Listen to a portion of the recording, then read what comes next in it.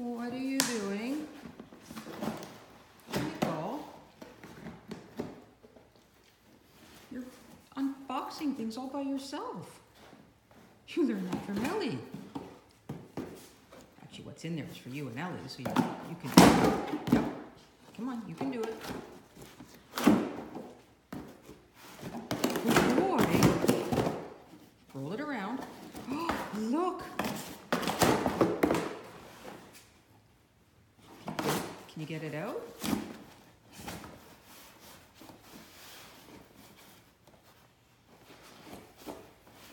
You've almost got it.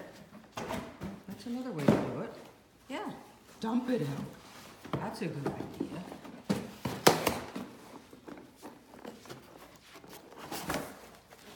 Can you grab them? I'll fix this box one way or another. Mike, if you take your foot off them, then you can grab it. It'll work a lot easier. Or you can just lift the box open.